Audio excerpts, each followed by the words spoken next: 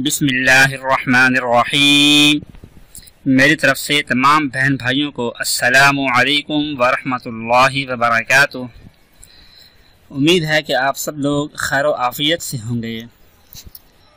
नाजरीन, इस वीडियो के अंदर आपको आँखों की कमज़ोरी के बारे में एक कुरानी अमल बताने जा रही हैं।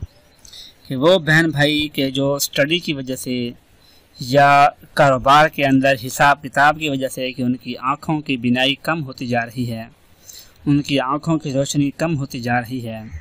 ये चेकअप करवाने के बावजूद बावजूद मेडिसिन यूज़ करने के बावजूद ग्लासेस यूज़ करने के बावजूद फिर भी नज़र कमज़ोर होती जा रही है।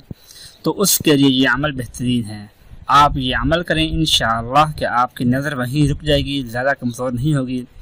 फिर आहिस्ता आहिस्ता वो नज़र ठीक होना शुरू हो जाएगी। वो अमल ये है, कुरान पाक का आखिरी पारा है, इसमें है सूरत नबा। ये सूरत दो रुकू पर मुश्तमिल है। यहाँ से शुरू हो रही है कि अम्मा तसादून और अगले पेज पर ख़त्म हो रही है कि वक़ुलकाफ़िर या लई तनी कन तो तुराबा।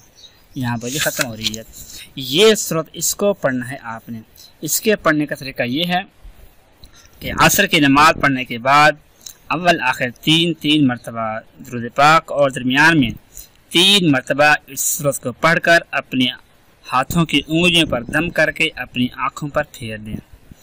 तो इन इस समर की बरकत से आपकी आँखों की बिनाई, आपकी आँखों की रोशनी कि वहीं फौरी वहीं रुक जाएगी, फिर आहिस्ता आहिस्ता वो ठीक होना शुरू हो जाएगी। लेकिन इसमें शर्त यह है कि आपकी आँखों का ऑपरेट ना हुआ हो। अगर ऑपरेट हुआ हुआ है तो फिर कि ये अमल ना करें। कि जिनने अपडेट नहीं करवाया, वो लोग ये अमल कर सकते हैं। इन बहुत फ़ायदा होगा उनको। दुआ है कि अल्लाह पाक हम सब की नज़रों को ठीक कर दिए अल्लाह पाक हम सबको हर किस्म की बीमारी से महफूज रखने की तोफ़ी नसीब फरमाए। आमीन सुम आमीन। अपना ख्याल रखिएगा। अल्लाह हाफिज़।